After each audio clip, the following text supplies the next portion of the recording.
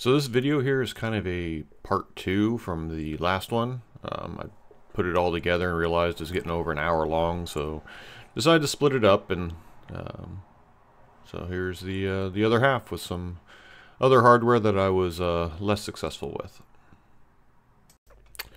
And now to get into some really weird territory. So this is a uh, voice over IP phone. It um, runs Android. Um, when I found it, it still had the little screen protector on.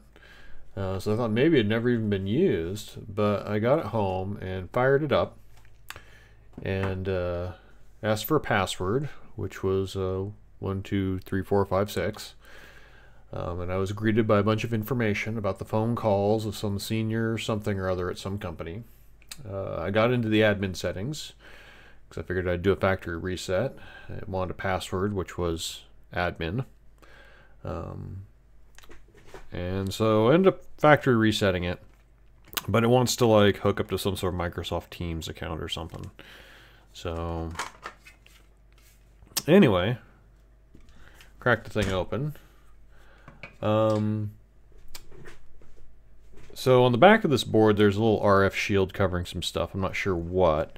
Some of the documentation mentions Bluetooth, but it also mentions plugging a like a Bluetooth dongle in because it does have a uh, little USB A plug there.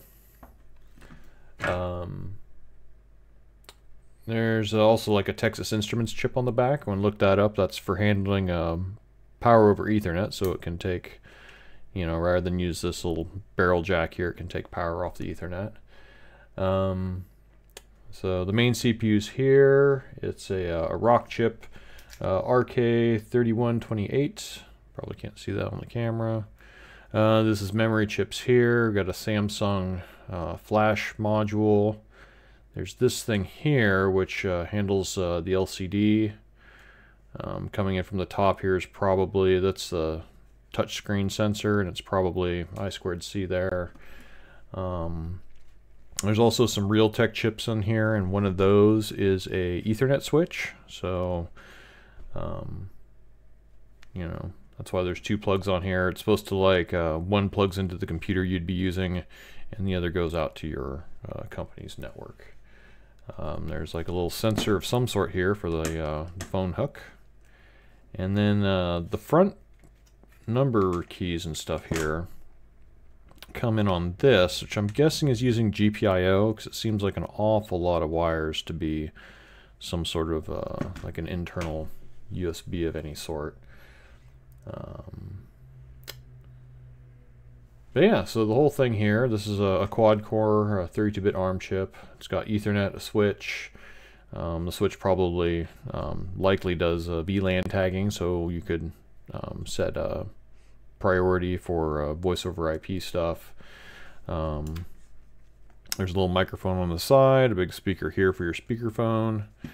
Um, it takes two, um, you know, phone cords. Uh, one's for the headset that comes with it, and then uh, the documentation says you could plug like another, like you know, clip onto your head headset sort of thing too.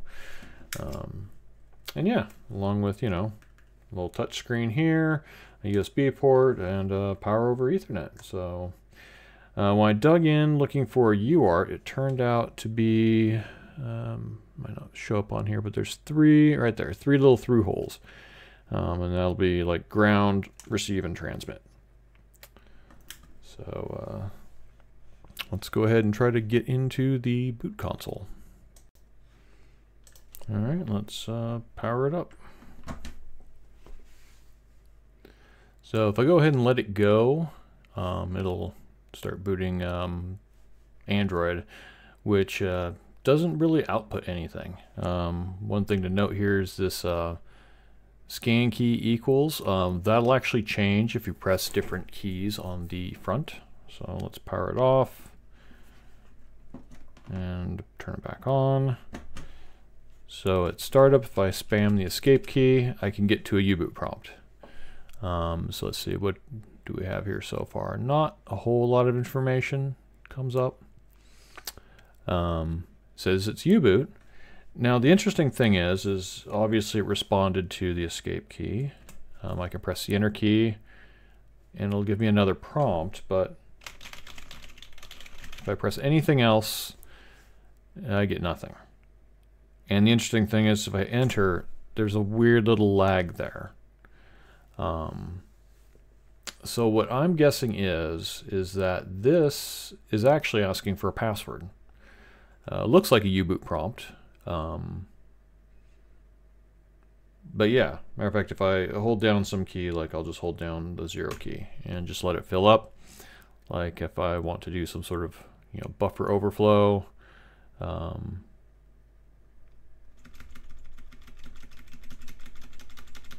enter, still nothing. Um, so yeah, one of the more interesting things I've seen as far as like a, a secured U-boot.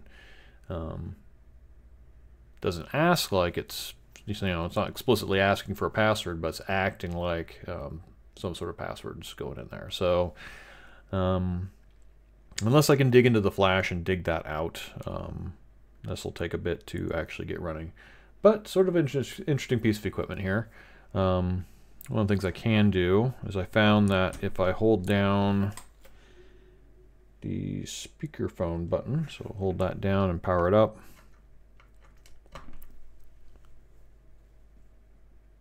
So you can see it says scan key equals 40. Um, I can actually switch back here to the uh, little webcam.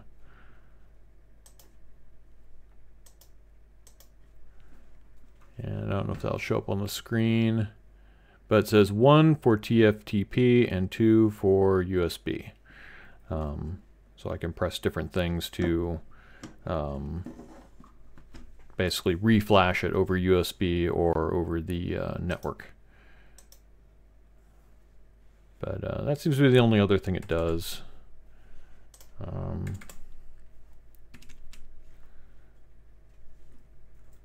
I'll go ahead and yank the power again. Hit escape, and yeah. So I can stop the boot, but I can't really get to do anything else. But and kind of an interesting piece of kit though. And now on to the next one.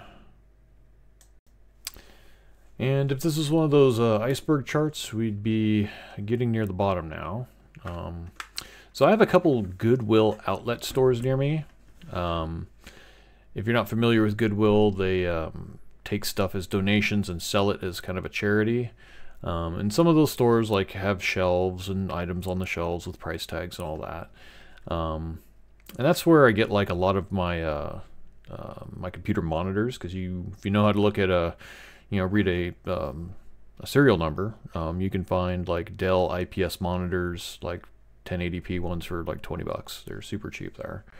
Um, anyway, uh, the outlet store is a whole nother thing. It is uh, tends to be just this big open room with big bins on wheels and just junk just in the bins. And you dig through it and you buy the stuff by weight. And since nobody wants e-waste, um, electronics are 79 cents a pound. Um, so most of these things I've shown so far came from there. Um, they cost me like a dollar each, and half the weight are the little, you know, wall wart power plug things that come with them. Um, but if you go to like a regular Goodwill, you can find like, you know, decent monitors and some of these Wi-Fi routers you'll find there and they're like five or ten bucks. Um, but this thing, um, this is a hub for an Xfinity um, security system, so which is also known as a Comcast cable. Um, and it is one of the most over-engineered pieces of electronics I've come across in a while. Um, it's got this nice little kickstand on the back. Um, it has a you know a touch screen on the front, looks like a camera, some speakers, which means there's probably a microphone inside. Um, has a power jack, RJ45. Has this little kickstand which comes off, and it's held in with screws. And they're not like you know typical sort of screws um, that look like wood screws, these big gnarly threads on them to like just dig into the plastic. They're actually like little really fine machine screws.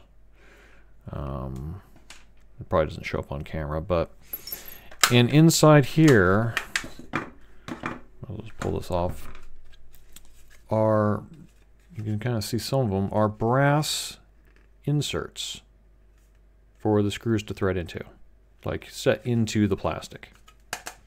It's all um, like ABS plastic here. Um, yeah, I got it home. I took this off. Uh, behind that was a little cover. And in there was a battery backup. So we got a 4400 milliamp hour um, lithium polymer battery pack. Um, this little thing was uh, held a SIM card. And all the other screws holding down the back were security Torx. So if you've ever seen like a regular Torx, it's those star-shaped ones. Again, probably can't see it on camera. But a security Torx has a little tiny bump in the center, so you can't put a regular Torx in there. You got to go buy security Torx wrenches. Um, if you ever mess around with all these things, you should just have a set of them around. They don't cost all that much. So they're just annoying more than anything else. Um, inside, everything is held down with security Torx. Um, so I have pulled this whole thing apart. Everything is covered. You can kind of see them a little bit in there. Everything is covered with RF shields. Um, no clue just by looking at it what's in there, other than this one here, which uh, says it's a Huawei chip of some sort. Went and looked up the part number. It's a 3G cell phone antenna. So that went with this SIM card and this battery backup. Um, according to the documentation, you could, you know, call, hit this red button here. And even if the power was out and, um, you know, you had your internet was cut or whatever, uh, it could still use the cell phone to dial 911. Uh, there's a big sort of buzzer on the back along with actually stereo speakers. Um, here's a little uh, little LED up here, I think, or the, that might be the microphone. I think that's the microphone, actually. There's a little, yep, little tiny hole in the top of this plastic case. Anyway, just ridiculous. Every every screw goes into a brass insert. Nothing is just like screwed into plastic. Everything's a security Torx. Everything's covered in RF shields, and there is one, two, three antennas. So this thing has at least a cell phone antenna, probably Wi-Fi of some sort. And uh, looking up some stuff on this, um, it turns out uh, Xfinity used Zigbee for a lot of their security sensors, so there's a, a Zigbee radio in here too. Um, on the side there's USB-A, uh, SD card slot, and a headphone jack. There's some other buttons on the side which uh, correspond to like kind of like your typical sort of cell phone, like a power button and then like a volume rocker. Um, but yeah, just you know, I tried peeling up one of the, the RF shields because when I first powered it up, that one seemed to get warm first. So I was like, well, maybe the CPU's under there, but um, instead, as I couldn't get that up, so I was like, well, I'll try looking for a UART, and it turned out to be four small through holes down here. So there's also some pads up here, which correspond to some holes inside the board, so that might be another, like a JTAG or something else to, you know, initially flash the, um, the device with the factory. But, uh, anyway, so I did find a, um, UART, so let's try and get into that. Alright, let's uh, stick a power cord in. And there we go, running some old version of U-Boot. And there it goes, goes jumps right into Linux. Um, initializing some stuff there. Oh, says, uh, yeah, Bluetooth. Doesn't necessarily mean it has it, but it is loading a driver for it. Um, MMC, so it's checking, you know, flash storage of some sort. Um,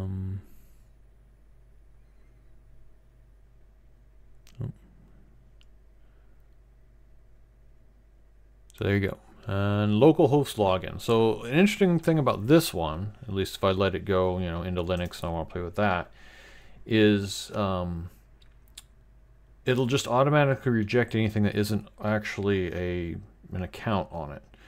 So if I type in admin, um, it'll just say nope, there's no admin. but if I type root, it'll ask for a password. And I've tried a lot of the standard things, you know, various number combinations and stuff. Um, nothing seems to work. Um, so again, this would be one of those ones where you'd have to actually dig into the flash and decrypt it all and try to find um, where the password was stored. Um, so let's, uh, let's try rebooting it. So power off, power back on. Um, this one you spam the escape key and that stops it from booting, but right away it just says enter security code. Um, and you know, a lot of the usual suspects don't work. Um, so again, this one's actually explicitly password protected.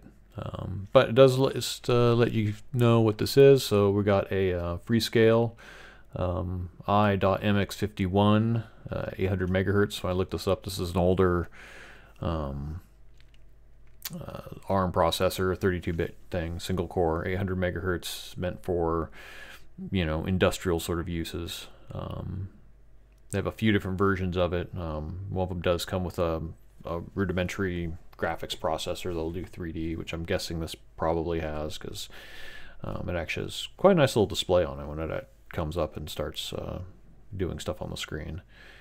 Um, but yeah, when I looked into what sort of things you could do for this, uh, most of the, almost all the talk was about using a technician's code to get into the built-in software so that you could add your own cameras and stuff. Um, evidently, Xfinity didn't want you doing this. They wanted you to pay to have some technician come out and do it. And looking at this thing, I'm guessing it's because it is quite the uh, the loss leader. This is not a cheap piece of equipment, just with how over-engineered it is.